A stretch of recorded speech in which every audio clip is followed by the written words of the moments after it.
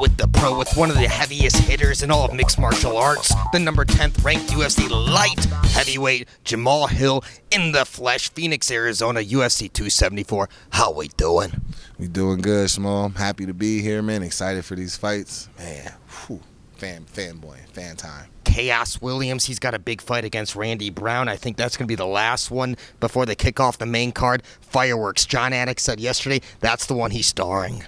Man, yeah, bro, I'm excited for that one. You know, Khaos is must see TV. He's always action. He comes to bang, and uh, Randy's been around for a while. He's put on some pretty good fights, but man, you know, you already know, you already know, I'm rocking this main gang. You know, it's not, it's not what it, what one but said, like my man said, it's not personal. It's just punishment. Both you guys like to put the lights out of your opponent. By the way, congratulations. August 6th, you got a main event against Thiago Santos that was released a few days ago. What's your initial thoughts now? It's only one real sledgehammer in this division. It's the time when they really know who it is. It's going to be your second main event coming off back to back performance of the nights. Obviously, the brutal KO over Johnny Walker. That's on everybody's highlight reel.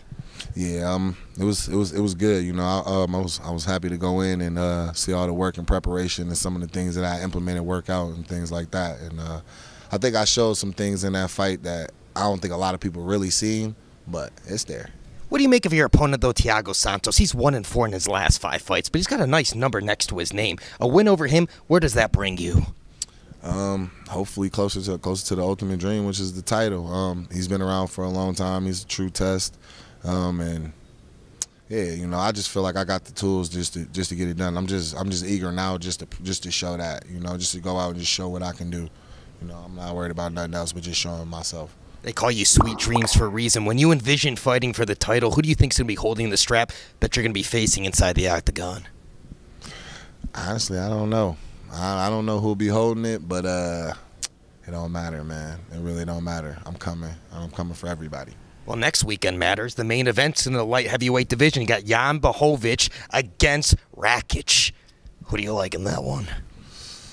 Hmm.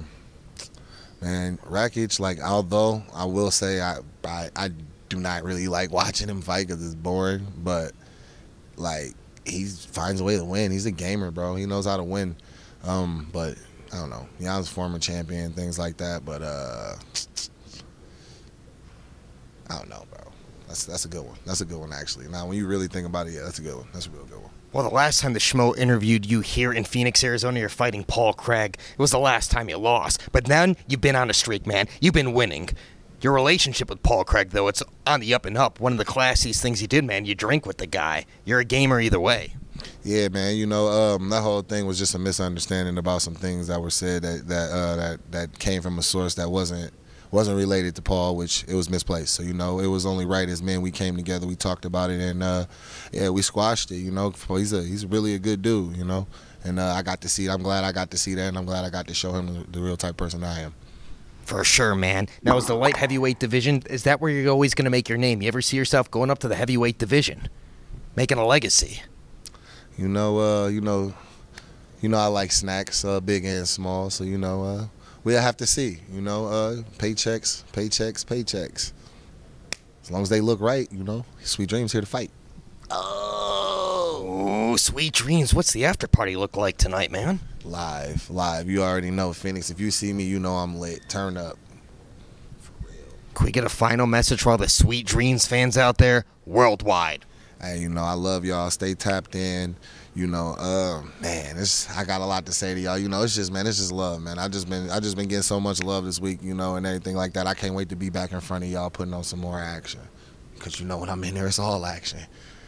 Certainly is. You never disappoint. He's the pro. I'm the schmo. UFC 274, Phoenix, Arizona.